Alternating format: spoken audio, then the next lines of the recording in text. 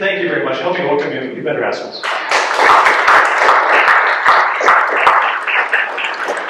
Good morning. Good morning, everybody. It's uh, it's quite a trip actually to be up here again after a year and a half or two years. I feel like I haven't done many in-person things for a long time, and this is me sort of coming out of my little home Zoom office where I think many of us have been uh, sort of confined for a long time, and then sort of getting used to being in front of a live audience again. So good morning. Thank you for joining me here today. Um, wow, thank you, Jay, for such a lovely, uh, such a lovely introduction. So we're going to be talking today about being in the flow. This is the theme of the month, this September, being in the flow. And of course, as a clinical psychologist, when I heard we are going to talk about being in the flow, I of course need to go into all the research. and who do we come across? But the father of flow research, which I'm sure many of you are familiar with. But uh, Mihaly Csikszentmihalyi did a lot of research in flow states. And so I'm going to be talking a little bit today about flow states and a little bit about that research but mostly, I'm going to be bringing it back to practices for you in your life and why this matters as we evolve and grow and learn. So that's really what we're going to talk about today. So I'm going to begin with a question for you. What do you love about being alive? What do you love about being alive? Take a minute turn to somebody sitting near you and just share a few things that you're going to get in touch with this morning about what you love about being alive. Let's start there. So then my next question, go right back to your enjoyable conversation, is what when was the last time you did something that you got completely absorbed in? Absolutely absorbed in, you lost a sense of time, you lost your sense of self, what activities do you do that you can lose yourself in? Just share that, and then we're going to come back. Okay, good. Had a chance to talk a little bit about what you love about being alive and what you, what activities you get completely absorbed in. Okay. It's also very nice for me. I feel like I can settle a little bit when I hear all of your voices in the room. It doesn't feel quite so cold and impersonal to me. This is one of the things I really love about working with people in person is that I can feel a little bit of your energy. So thank you for allowing that and participating, even though some of you may not know anyone else in this room. So um, this morning, I got up and uh, you know, I'm always, I'm always a little stressed on the morning when I need to speak because I wake up with a little bit more activation than usual, thinking, am I going to remember to say what I want to say? Have I memorized the right things? And I'll give you a little hint, I never memorize anything, so the answer is always no. um, and so then I, I go downstairs and I was really clever last night because I thought I'm going to be stressed out in the mornings. I'm going to get my coffee maker ready, so I just have to press go, right? So I went downstairs and I pressed go on my coffee maker, and then I went back to my office and you know read through my notes, and then I was like, okay, I'm dying for this cup of coffee, and I go downstairs and I pour my coffee, and it's just brown water, but like really like translucent brown. And then I realized, oh yes, you have to put coffee grounds in the filter. and I hadn't done that last night intentionally, thinking, you know, you want it to be fresh, so you'll put the coffee grounds in in the morning. And then I paused as I'm pouring this like brown water, thinking, this is not coffee. And I thought, this is an example of what flow is not. Okay? this is not flow. Flow is not when you go on autopilot and you just mindlessly go through rote actions thinking you're going to get a result. All the time when my daughter was, you know, really young, and I usually would drop off at preschool and find myself halfway down to Minneapolis to work before I realized that my child was still in the back seat and never did get dropped off. And then I had to do a turnaround. These are examples of what flow is not. Okay. So we're going to talk a little bit about what flow is. Because flow states, when human beings enter into a flow state, it is a space of optimal growth, optimal learning, optimal insight, optimal evolution. It is when you are so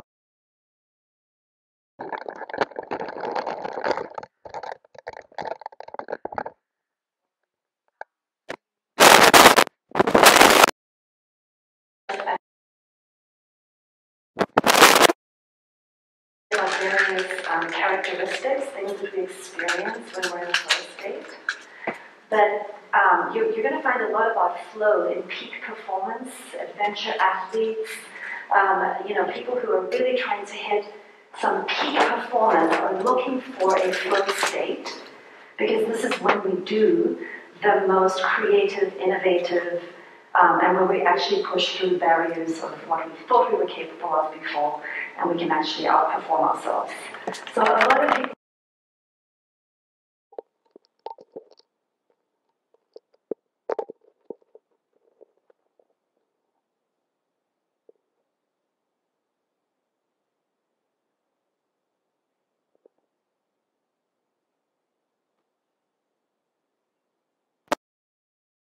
learn a lot about flow because um, lots of organizations are doing research about how to get people into these states in order to drive performance.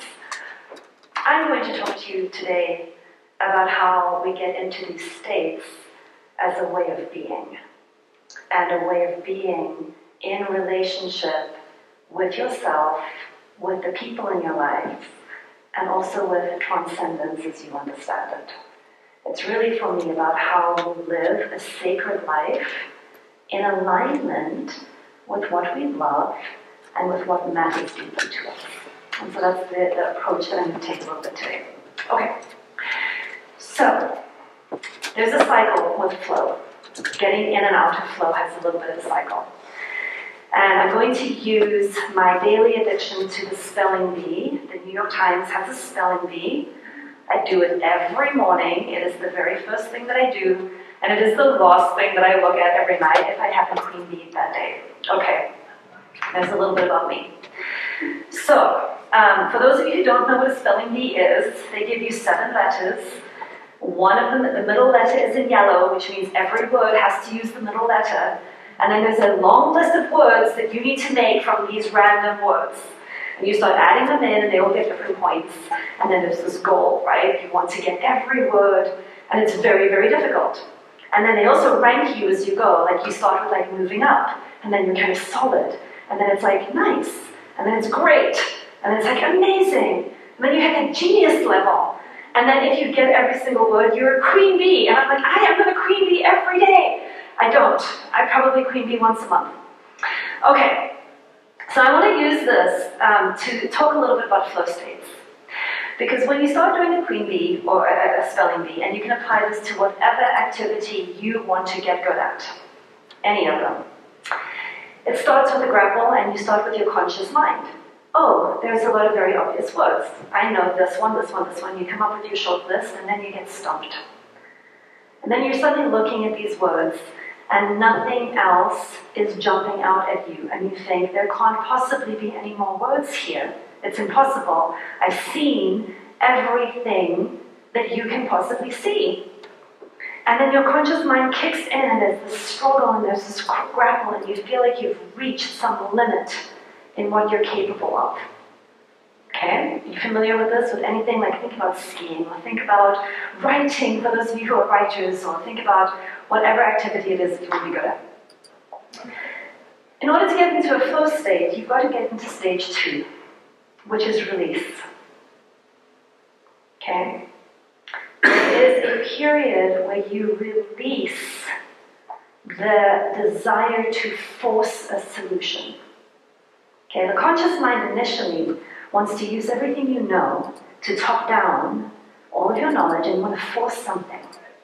And many people get very stuck here, especially in relationships. When a relationship gets glitchy, they want to begin forcing. They start speaking more loudly, they start diagnosing, they start analyzing, they want to start judging and critiquing. They want to start forcing a solution.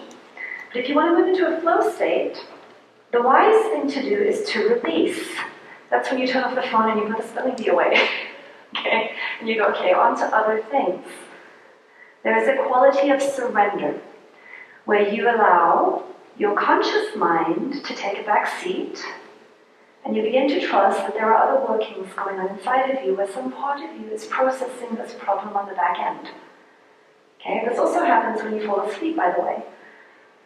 Often I'll write something in the evening, and then when I fall asleep in the morning, suddenly there's an answer, there's suddenly an organization that I couldn't see the night before. Something will emerge. So, first there's the struggle and the grapple, and you're using your conscious mind. And the moment you find yourself beginning to force, you take a step back and you release. You release control, and instead of going top down, you make yourself available for bottom up processing. Because we need both. Right? There's processing that goes from the mind down into the body, and then there's processing that comes from the body up into the mind, so we create space. You allow other wisdom to come up. And this, by the way, is one of my deepest recommendations for how humans on this planet need to learn to live. We're very good at top down. We've got to get a lot better at learning how to bottom up in a way that isn't acting out. When you allow the bottom up to come, this is when you actually begin entering into a flow state. And when you get into a flow state, you go back into this uh, activity. So let's take writing. I do a lot of writing. I'll sit down with some objective. This happens every week. I have a newsletter that goes out every week, and I'm like, okay. I ask my program assistant, what are we writing about this week? And he gives me an assignment, which I need, because if I have an assignment, then I'm people pleasing, and that's easier for my motivation than if I'm just doing it for me. So I've learned to find somebody that I can people please to, because that's good for my motivation. So he says, This is what we're going to do this week. I'm like, Okay, I'm going to make Justin happy. I'm going to write. so I start writing, and then I stall out completely. Right? And I have to let it go, and I'm like, oh, I'm agonizing about the writing process. I hate writing. Why do I do this to myself every every week? And then the next morning I wake up and here is something that is arising in me. And when I go back to it, now when I enter into a flow state, I'm actually following. I'm not doing so much leading. Okay, initially I do some leading. I create a container. Leading is great. But there's a point where we've got to step out of the leading role and into the following role. And then we start watching what begins to emerge from within. There is a relationship with emergence. And one of the things that we want to get really good at is this ability to get deeply present. So, this ability to be deeply, deeply present to ourselves, to data that comes from within, to our inner beings, to not only be so good at being externally focused and attuned to what's out there, but to also begin getting deeply attuned to what's in here. And in that state, you start writing, and all of a sudden, the words just start flowing. And all of a sudden, you start writing things that you didn't even know were in you. And all kinds of sentences just appear, all kinds of phrases are just there. And it's so delightful because you don't even feel like, I don't even feel like I'm writing this. At this point, it's as if I've gotten into some kind of a flow where something is moving through me. But it's not passive. It's not like I just sit there and stuff moves through me. It's a very, very active and relational process because it involves three key things. These are my three key things that I teach and speak about. This is my life's work. A way of being, a way of being that is present, receptive, active, kind, curious. You need an attitude of wonder. You need an attitude of curiosity. Okay? You've got to be willing to be surprised. Your way of being needs to seek out the unknown, the mysterious, the limitations of what my conscious mind thinks she knows. There's a sense of reverence, there's a sense of awe. And there's a sense of love. There is deep love and relationality in a state of flow. It's about what we care about. Flow feels good. It is intrinsically motivating. So you cultivate the way of being in relationship with yourself, others, and life. The second piece is a quality of listening. And flow follows focus. Okay? And listening, deep, sacred listening, is about paying attention to what deeply matters. It's about paying attention to what you care about. It's about letting your heart guide how you're listening, what you're listening to, where your attention is, what you're willing to let in. It's about listening non defensively, trusting that you can take things and they won't harm you. That's something that a lot of people have these days, it seems. We tend to listen with a lot of blocks these days. That's what I have been noticing. I, I am speaking about myself, not you. So there's listening, there's a receptivity, there's a taking in. And then the third, key, the third little pillar is about expression. It's about getting very intentional about what you're wanting to create and influence in what you say. How are you using your words? How are you using your way of being?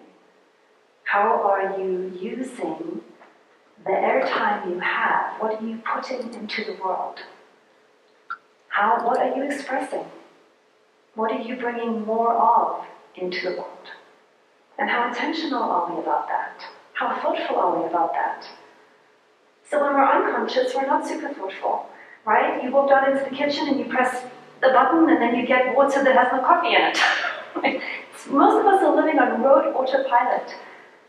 But when we begin to wake up and when we begin to get intentional and when we begin to really seek out flow states, we're cultivating a way of being, a way of listening, and a way of relating out loud in feedback loops with ourselves and others in the world.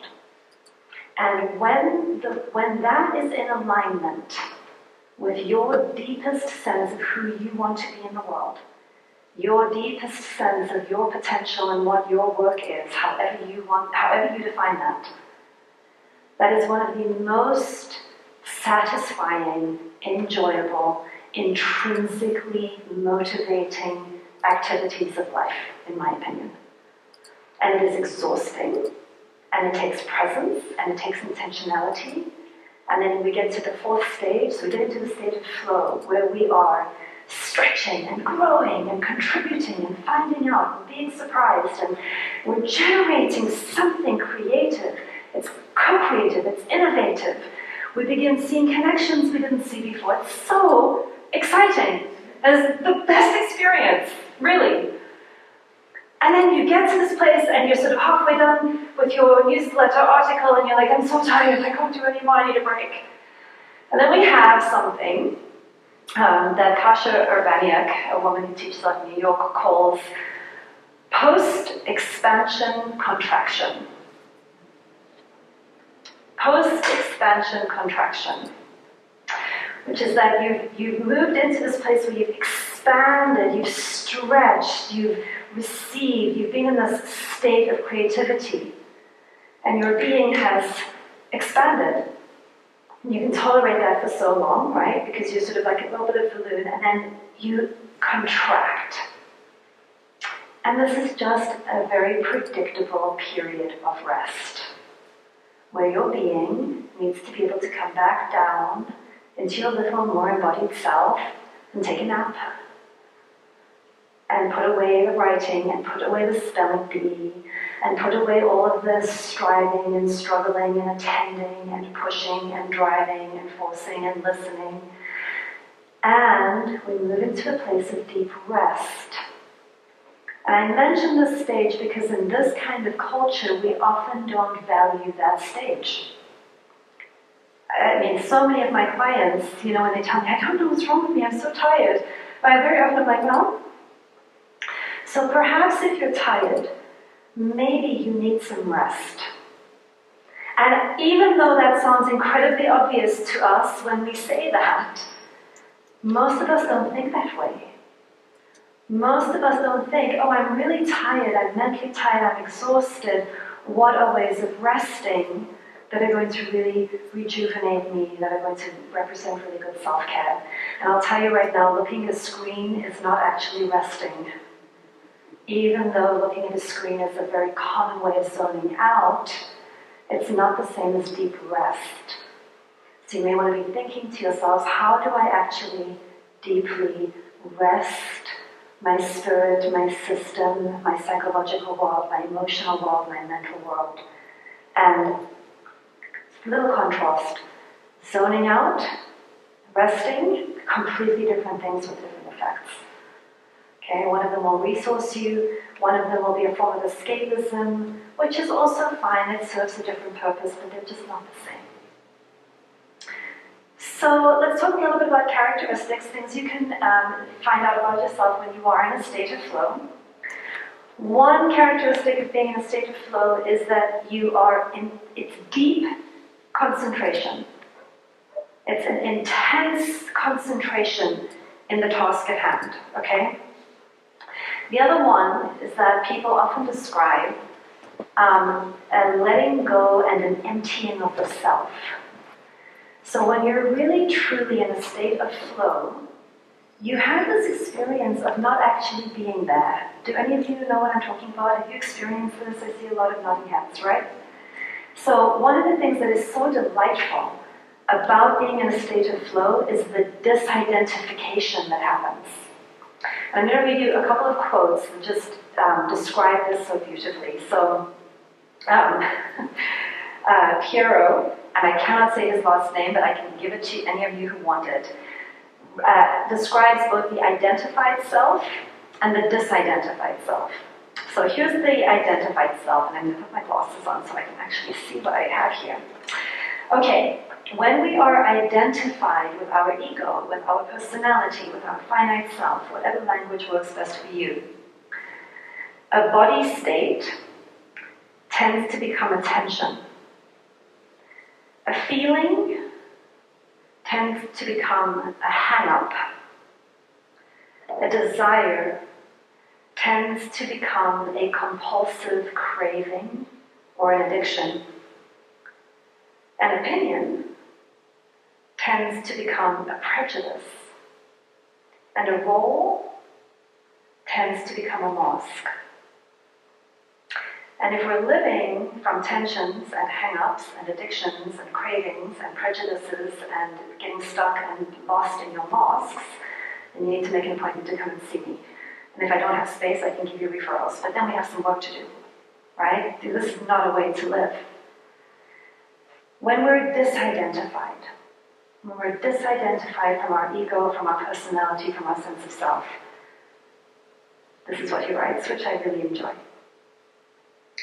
I have a body, but I am not my body. I have feelings, but I am not my feelings. I have desires, they move through me, but I am not my desires. I have a mind, but I am not my mind. And in the process of disidentification, we have this multi-sensory experience where we're taking in data from our bodies, from our feelings, from our longings, from our desires, from our thoughts, from our knowledge, from our programming, our memories, our visions, our sense of possibility. When you're in flow, you are allowing data to come in from multiple channels And it is moving through you and you're being actively creative with it. But your ego is not identified with it. But it's also not the same thing as being detached from an embodied experience and somewhere out in the ether. Okay? It's actually deeply, deeply present. Also, flow states are about stretching beyond what you're currently capable of. It's a form of pushing, it's a form of expanding, which is why we need to rest. And there's timelessness. When you're, when you're in a flow state, time does two really cool things. It's slow down, slows down completely or stops. You don't even you don't even realize the time is passing. It's as if there is no time and you're just standing still in time. And at the same time, it completely speeds up. It's as if so much time passes and you don't even notice it. Time goes exceedingly quickly and exceedingly slowly, all at the same time, which is really fun. You get into the deep now, you get into the state of sort of transcendence, it's delicious, I love it. Um, let me think what else. Oh, and here's the other thing. Flow states are deeply tied to intrinsic motivators. And many of you hear me talking about intrinsic motivation. I know many of you have heard me speak about that at length. But here's all I want to say about intrinsic motivation today. Intrinsic motivation is about honoring what you desire. It is about having the courage to long for something. And if you've had a lot of grief and loss in your life, or you've had a lot of hurt in your life, or you've had a lot of trauma in your life, you're going to have a little psychological immune system that wants to keep you out of touch with what you desire, especially if you've been disappointed. And it wants to protect you from your longings and your passions and your desires because some part of you might tell you that it's not safe to want, or that it's not okay to want. And I want to invite you today, if that is a part of you, to work on surrendering that. Because if you want to really get into the flow of living and into alignment with your deepest self, you need to know what you long for. You need to know what your heart deeply desires. You want to let what you want find you. And sometimes, as we become aware of what we long for and what our hearts desire, we have a period of grief that can come up first. Because sometimes we're invited to just feel into the pain of not having had that for so long. And it is a bittersweet, healing, beautiful pain that will wash through you and out of you. And it is necessary to bring your heart back alive. It is safe to trust your desires. It is safe to trust your longings. And sometimes we get so busy supporting the status quo and being good boys and good girls and getting everybody else's approval and conforming and being obedient and doing everything that we're supposed to do, which also is an adaptive part of living. So I'm not devaluing that. I'm just saying, don't let that be your entire life because it's not a full life. Open your hearts, let yourself know what it is that you long for, and then bring your attention your intentions back into alignment with what those things are. Okay, let me think. So, five practices. Maybe five practices. Let me stop there for a moment. Does anybody have a question or a comment about just flow states and the characteristics of flow states? Yes? Is this like samadhi? I don't know what that is. That's, that's a, uh, ancient, I think, a Buddhist concept sounds a lot like this, like being present in this relaxed state and just um, letting things come to you in a like this perfected state of being somehow. Yes. That's the way I understand it. Does anybody else know about samadhi? Mhm. Yeah. Yeah. Okay, that's what it sounded to me. I sounds like a beautiful connection. Yeah. I find as I do a lot more learning, you find that, at least what I've often found, is that different traditions will have different words, all painting, or pointing, sorry, this thing is falling off, all pointing to um, the same universal truth. So we may have different words, different language um, pointers, and but very often we're pointing to a very similar underlying truth with our language. So many different words can point to a similar state. And whatever language, this is, I often say to people, if I'm using some word that doesn't work for you, please just translate it into a word that you like more. The point is the meaning underneath the words. I don't get terribly hung up on the actual words. And so, uh, did you say samhadi? Samhadi. Great. So, anyone interested in researching that? That sounds like a very fruitful a very fruitful uh, area of focus. Relaxed alertness. You see this in a lot of meditative um, traditions as well. This idea of relaxed alertness, complete presence in the here and now. And there's freedom. Yes. There's yes. freedom to be exactly who you are. Yes. Yeah. Yes. So how many, you know, like, do a little check with yourself. To what degree do you feel the freedom to be exactly who you are. When, where, how, with whom? When might you not feel the freedom to be exactly who you are? And then here's another question Who are you? How would you answer that? What, how do you answer that question? What is this who I am? These are rhetorical. These are rhetorical questions. But it's a very beautiful exploration in life. Yes?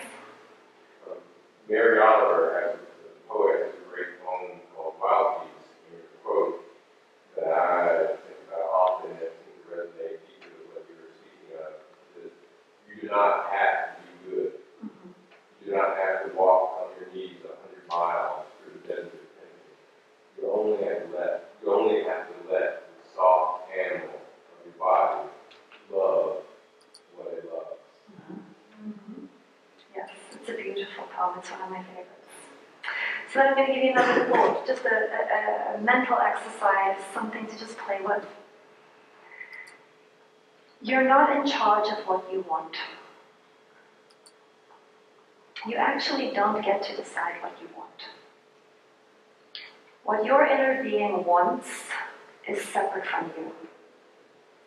What you desire moves through you. You don't get to decide what you want. The thing that most people get to decide is whether they are in resistance to what they want or whether they give themselves permission to want what they want. But very often, what you want is not a conscious choice and is not something you decide. It's something you respond to. And if you really want to live in flow, if you want to be in alignment with yourself, one of the deep practices is allowing yourself to want what you want. And that is 25 years of psychotherapy right there, just so you know. the amount of cultural conditioning that most people have internalized to be out of touch with what they want, to judge what they want, to be in resistance to what they want, to think that what they want is petty, to think that what they want is selfish, to think that what they want is grandiose. I mean, the amount of self judgment tied up with the simple act of being in alignment with what you want is a whole body of work right there. So one thing to think about in your own lives is do where do you allow yourself to want what you want? And what desires are you in conflict with in yourself? What things keep coming up in you? Like I really want blah blah blah, but I can't. Oh, but that's bad. And then back to the Mary Oliver poem. Don't be good. Be alive. Be alive. Good is a culturally conditioned idea, or at least let me say this. Question and redefine how you understand the word good. Because unexamined, good means obedient. And I would invite you to stop being as obedient as some parts of you might want to be. That good may actually transcend obedience at times. And that brings me to this point, which is I'm, I'm not against obedience. But make sure that you're obedient to a value, to a principle, not a person. So if you're going to surrender to something, let it be something other than another human being. Let it be something more powerful than that, a principle you really believe in, a value you want to live into, a vision for the kind of world that you'd like to create. If you're going to be surrendering yourself to something, have it be something a little bit more high octane than another wounded, imperfect, glorious human on the planet. Just FYI. Word of counsel. Okay. Five practices as you get into a state of flow. These are five questions for you to take away with you. Number one, what do you love? What do you love? Flow, in my opinion, is a completely useless state if you're doing it to achieve peak performance, to drive a system, a domination system that does tremendous damage on the planet. I see no point in getting into a state of flow to serve some rapacious system that is doing tremendous damage. If you're going to get into a state of flow and you want to use these ways of being and listening and speaking, first ask yourself, what do you love? And let your heart guide you. Most of us go with our minds. I'm inviting you to actually ground yourself in what your heart is guiding you towards. The second question, and this comes to one of the blocks to flow who and what do you need to forgive? Forgiveness is about your own liberation. If you have unhealed trauma, unhealed relational wounds, they will be like stones in the river, big boulders in the river flow. The water will still go, but it will go around them. And if you want more momentum in the current, there's forgiveness and healing work that often needs to be done in order to soften your being and to develop self trust again. So you may want to find out where is there forgiveness needed. And forgiveness is not about letting other people off the hook, but that's not our topic today. Third question What do you trust? When was the last time you deeply examined what do you trust? Make a list. Make a list of the things you don't trust. Begin examining where trust works in your life. Being in flow requires courage. We need courage when we are afraid. We are afraid when we don't trust something. So if you want to be in a state of flow, you want to start examining trust and fear and courage and how these things are working in your life.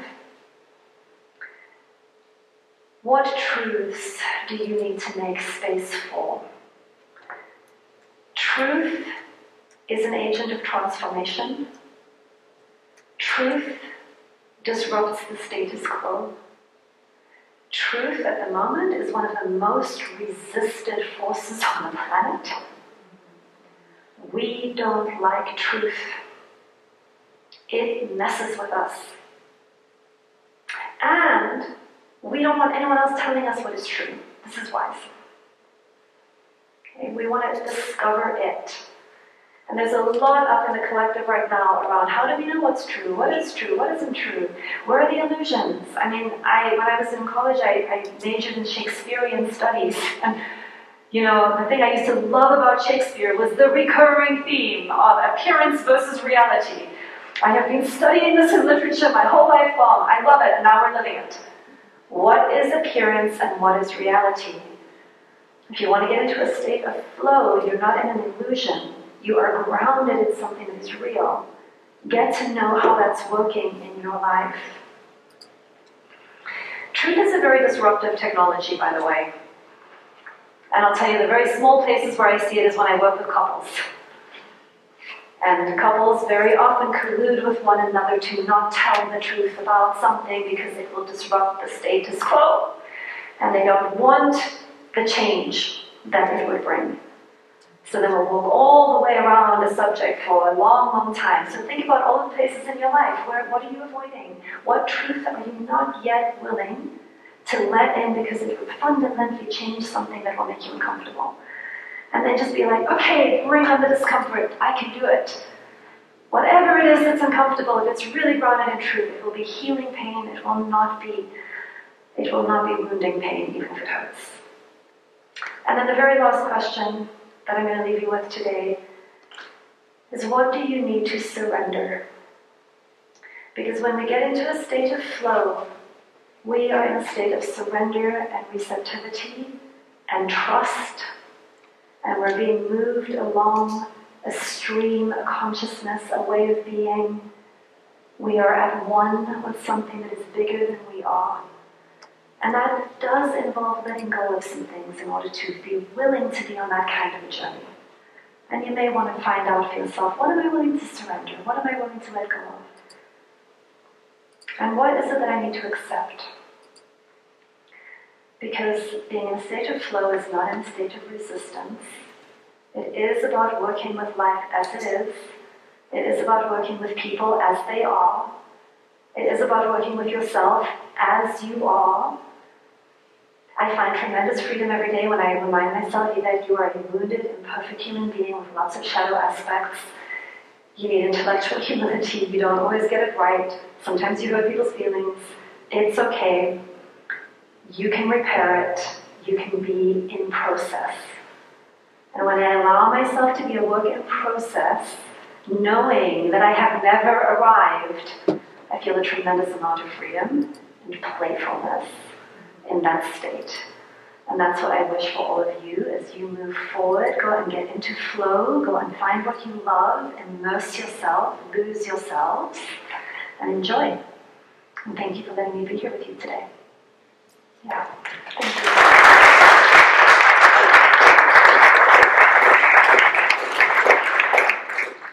I forgot to say one thing, which is when you get to the spelling bee at 11 o'clock at night, having not thought about it, you suddenly see 20 words you didn't see before. Yeah. And you don't know where on earth they came from, but there they are, and suddenly you see them.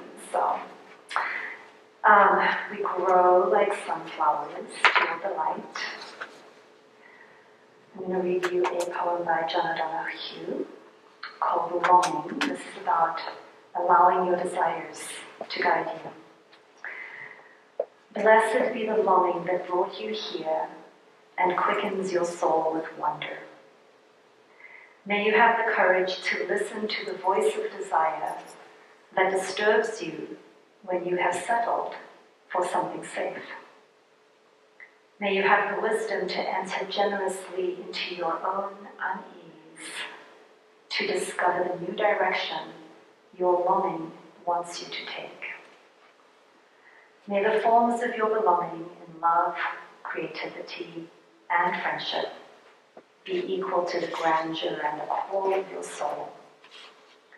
May the one you long for be you. May your dreams gradually reveal the destination of your desire. May a secret providence guide your thought and nurture your feeling. May your mind inhabit your life with the sureness with which your body inhabits the world. May your heart never be haunted by ghost structures of old damage. May you come to accept your longing as divine urgency. And may you know the urgency with which life longs for you. Thank you.